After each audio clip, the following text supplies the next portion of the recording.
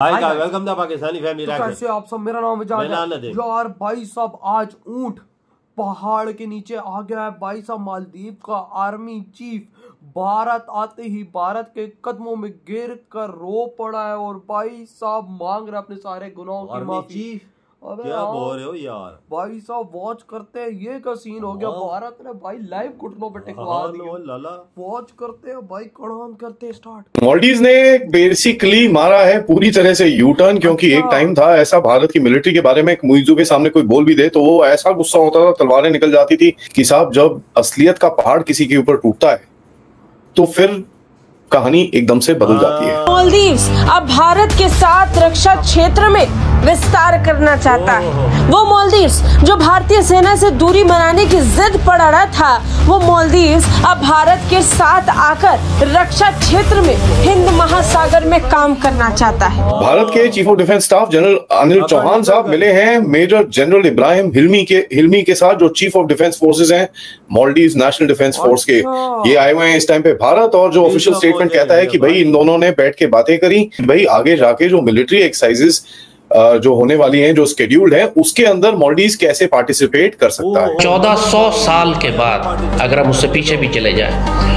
तेरह सौ साल, चौदह सौ साल के बाद ये पहला मौका है कि भारत में, दिल्ली में कोई ऐसी हुकूमत आई है जो अखंड भारत बनाना चाहती है। तेरह चौदह सौ साल से तो ये कुत्ते की तरह जलील हो रहे थे। उन्होंने इम्पोर्ट शोर्ट्स और टेक्नोलॉजी ट्रांसफ़र बंद किए हुए थे।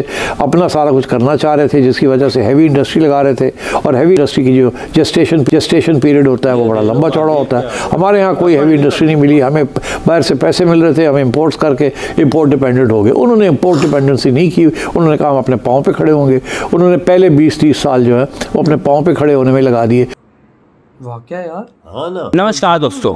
दोस्तों कुछ महीने पहले तक जो मालदीव्स भारत के खिलाफ और हमारे प्रधानमंत्री मोदी जी के खिलाफ स्टेटमेंट दे रहा था और अपने देश में इंडियन आर्मी और इंडियन डिफेंस फोर्सेस के खिलाफ कैंपेन निकाल रहा था इंडिया आउट कैंपेन वही मालदीव्स भारत के पैरों के सामने खड़ा है और हमारे डिफेंस फोर्सेस के पैर पकड़ के माफ़ी मांग रहा है। कह रहा है कि अब मालदीव्स को भारत के साथ अपने डिफेंस टाइज फिर एक बार मज़बूत करने हैं। जिसके लिए मालदीव्स चाहता है कि भारत उसे मालदीव्स को अपने मिलिट्री एक्सरसाइज में शामिल करे, ताकि मालदीव्स की डिफेंस स्ट्रांग हो सके और मालदीव ये भी चाहता है कि अब फिर एक बार भारत की मिलिट्री मालदीव्स में जा करके सर्व करे, क्योंकि मालदीव्स खुद को संभाल नहीं पा रहा है बिना भारत की हेल्प के। इसके साथ साथ इसके बाद मालदीव्स उसकी इकोनॉमिक कंडीशन भी काफ़ी ज़्यादा वीक हो चुकी है चाइनीज़ लोन की वजह से। तो चलिए इसी पर आगे पाकिस्तानी मीडिया का रिएक्शन देखते हैं। अगर आपको हमारा ये वीडियो पसंद आए तो वीडियो को लाइक करें अपने विचार हमसे ज़रूर से शेयर करें इस वीडियो के कमेंट बॉक्स में। मॉल्डीव ने बेसिकली मारा है पूरी तरह से यू टर्न क्योंकि एक टाइम था ऐसा भारत की मिलिट्री के बारे में एक मुइजू के सामने कोई बोल भी दे तो वो ऐसा गुस्सा होता था, तलवारें निकल जाती थी और आईसिस वाला जो प्रेसिडेंट है मॉल्डीव का, वो बहुत ही ज़्यादा परेशान हो जाता था। आज जो चक्कर है कि आज आप पूरी तरह से कहानी उल्टी देख रहे हैं, क्योंकि देखिए जब बोलता है ना कि साहब, जब असलियत का पहाड़ किसी के ऊपर टूटता है हाँ तो फिर पता चलता है कहानी एकदम से बदल जाती है। तो ये कहानी क्या है? जरा पता करें। भारत के chief of defence staff general Anil Chauhan साहब मिले हैं। मेजर जनरल इब्राहिम हिल्मी के हिल्मी के साथ जो चीफ ऑफ़ डिफेंस फोर्सेज हैं मॉल्डीव नेशनल डिफेंस फोर्स के ये आए हुए हैं इस टाइम पे। भारत और जो ऑफिशियल स्टेटमेंट कहता है कि भाई इन दोनों ने बैठ के बातें करी कुछ कॉमन इंटरेस्ट की चीज़ों के ऊपर कुछ हाई लेवल एक्सचेंजेस के ऊपर अच्छा। कैपेसिटी बिल्डिंग के ऊपर। एंड कहीं ना कहीं ये भी बात हुई कि भाई आगे जाके जो मिलिट्री एक्सरसाइजेस जो होने वाली हैं जो स्केड्यूल्ड है उसके अंदर मॉल्डीव कैसे पार्टिसिपेट कर सकता है? हाँ, ये बड़ा इंटरेस्टिंग है क्योंकि मुइजू साहब जब पावर में आए थे ये तो Indian military out India out campaign के ऊपर आए थे और उन्होंने तो आते साथ बोला था भाई इंडियन मिलिट्री यहाँ पर रहेगी। तो फिर ऐसा रहेगा कि साहब पूरी तरह से मॉल्डीव के ऊपर ऑक्यूपाई हो रखा है हम इंडिपेंडेंस नहीं होंगे हमारी सॉवरेनिटी ठीक नहीं होगी। इसके बाद जब असलियत आती है तो इनके चीफ ऑफ़ डिफेंस स्टाफ खुद यहाँ पर आते हैं और बोलते हैं सर हमको जरा आप इन्वॉल्व कर लीजिए यार। आप आप जो कर रहे हैं यहाँ पर जो जो भी चीज़ें हैं उसके साथ हमको आप इन्वॉल्व कर लीजिए।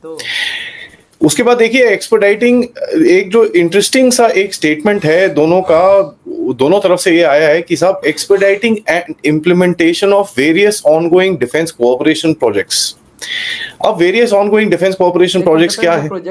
हमारे ट्राइलैटरल मल्टीलैटरल ग्रुपिंग्स हैं बिम्स्टेक और ये सब चीज़ें हैं जो इंडियन ओशन सिक्योरिटी ग्रुपिंग है। उसके अंदर जिसमें अभी बांग्लादेश घुसा था वो सारा कुछ है तो उसके अंदर Maldives is very very very much there in the middle तो इसके बारे में भी ऑब्वियसली डिस्कशंस हुई होंगी और ये जो विज़िट आती है ये आती है एस जयशंकर साहब जो पिछले महीने मॉलडीव्स गए थे जहाँ पर 28 आइलैंड्स के ऊपर सैनिटेशन का एक कॉन्ट्रैक्ट बहुत बड़ा कॉन्ट्रैक्ट भारत लेके आया था। तो ये बड़ा इंटरेस्टिंग गेम है क्योंकि एक टाइम ऐसा था कि भाई मॉलडीव आउट इंडिया ने खरीद लिया। का एक पब्लिक नैरेटिव तो था ही था बट कहीं ना कहीं गवर्नमेंट भी थोड़ा इससे हैंड्स ऑफ़ पॉलिसी करके बैठी थी और जो भी कुछ हुआ गवर्नमेंट ने जो किया वो बैक एंड पे किया। फ्रंट एंड पे गवर्नमेंट काम क्वाइट एकदम शांति से अपना गेम आगे खेल रही थी। हाँ, ये पहली बारी है जब एक हाई लेवल मीटिंग हुई है आफ्टर मोइजू साहब ये जो इनोग्रेशन पे आए थे यहाँ पर तब बड़े ज़बरदस्त स्टेटमेंट्स देके गए उसके बाद उनके फॉरन मिनिस्टर भी यहाँ पर आए वो पूरा एक ज़बरदस्त स्टेटमेंट वो भी दे रहे थे। जयशंकर जी वहाँ पर गए, ये सब कुछ हुआ। उसके बाद पहली बार ये एक डिफेंस कोऑपरेशन टाइप एक मीटिंग हुई है। इंडिया में ये है कि 2000 सॉरी 1970 तक तो इंडिया का, के बारे में ये कहा जाता था कि इकोनॉमिक पॉलिटिकल स्टेबिलिटी तो है। कांग्रेस की हुकूमत कर रही थी one after the other they were winning the elections one party rule था एक किस्म का। इमरजेंसी भी लगा दी जब पहली दफ़ा चैलेंज आया इंदिरा गांधी ने इन द लेट सिक्सटीज़ तो मगर जब वहाँ का जो इकोनॉमिक ग्रोथ थी वो टू परसेंट से ऊपर नहीं थी इसलिए वो उनको कहा जाता है हिंदू रेट ऑफ़ ग्रोथ हमारे यहाँ कहते थे कि ये तो बड़ी डायनामिक ग्रोथ कंट्री है। इंडिया के बारे में ये अंटिल 1970 यही था कि हिंदू रेट ऑफ़ ग्रोथ उसके बड़े रीजंस हैं वो किसी वक्त डिस्कस किया जा सकता है कि why was it two percent rate of growth उनका जो इकोनॉमिक मॉडल था that was the Soviet Union model of a command economy भाई साहब उधर उस टाइम था लेकिन अब वहाँ पर मोदी है ना। ये वही चीज़ तो रो रहे हैं कि उस टाइम क्या था तो अब क्या है? आप देखो क्या है। मालदीव का आर्मी चीफ अपनी टोपी उठा के नीचे रख कर हाथों यूँ हाथ यूँ रखे हुए और भाई बातें सुन रहा है भारत के लीडर्स की। और बोल रहा है कि भाई हमें माफ़ कर दो हमसे जो गलती हो है। गलती हुई है। हम इसकी क्षमा चाहते हैं हमें अपने डिफेंस के अंदर आप जगह दे दो। मतलब कि मालदीव ने आज अपनी आर्मी को अपनी पूरी आर्मी को भारत के आगे सर झुकवा दिया। हाँ। कि भाई झुको इस भारत के हाँ। आगे नहीं तो। मिट्टी में मिल जाएँगे। और देखो आपने कि मोदी जी की एक आपने पॉलिसी देखी है। मोदी जी कभी भी खड़ा हो कि ये बात नहीं कहेगा कि मैं ये काम कर रहा हूँ। वो चुप रहते हैं। और चुप रह के अगले कोई ऐसी बजाते हैं वो ऐसी बजाते हैं कि वो ज़िंदगी भर याद रखता है। और अगला वो बोल भी नहीं सकता कि भाई साहब ये इंडिया हमारे साथ कर क्या रहा है? हाँ ऐसे ही अंदर से मारते हैं ना बाहर जो पता ही नहीं चलता कि किस वजह से मालदीव की बजाई है। देखो ना भाई अगले भाई साहब अपनी आर्मी चीफ यानी आर्मी के हेड को भेज कर भारत के आगे उसको झुकवा रहे हैं कि भाई किसी तरह हाँ। भारत हमसे राज़ी हो जाए भारत हम पे रहम करे क्योंकि चाइना ने इनको लात मारी। बिल्कुल मारी। और ये रोड के वो इनका पिछवाड़ा यूँ गिर गिर गिर घसीट करते हुए रोड पे वही मालदीव था जो अकड़ दिखाता था मंत्री मोदी जी गालियाँ देते थे ये। आज आज देखो अकड़ सामने आ गई और सारी पूरी आर्मी उनकी इंडिया के कदमों में गिरी हुई है। और देख- टोपी नीचे उतार के उनसे बात कर रहा है। और यूँ हाथों के में हाथ रख के। हाँ सोचने वाली बात है ना। जिस तरह वो डरा हुआ नहीं होता हाँ। सहमा हुआ नहीं होता कि अब इंडियंस क्या बात करेंगे। हाँ। भाई क्या पता हमें ना ये ना हो कि भाई हमें कोई बख्शे नहीं या हमें माफ़ ना करें। भाई तो डर इंडिया सिर्फ़ एक झटका देता है बंदे को। उसके बाद अकल ठिकाने अकल ठिकाने आ जाती है इनकी भी अकल ठिकाने आई है कि हमें जो सब कुछ निज़ाम मेरा हमारा चलाता था वो इंडिया चलाता था हमने तो बेवकूफ़ी कर ली यार। ये काम हम तो चीना चीन चाइना के कदमों में जाके बैठे ये क्या किया हमने? चाइना तो अपना मतलब निकालता है। हाँ, और इंडिया मतलब नहीं निकालता उसी चैनल ने जब इनको लात मारी ना रोड पे जब इन्होंने घसीटी खाई हाँ, तो भारत याद आ गया। पहुँच गया अब सीधा इंडिया। मैं अपनी गुनाहों की माफ़ी मांगने के लिए। तो भाई आपके क्या थॉट है इस वीडियो के बारे में जो भाई इतनी बड़ी डेवलपमेंट हो गई है? इतनी ही वीडियो आदम करते तो तो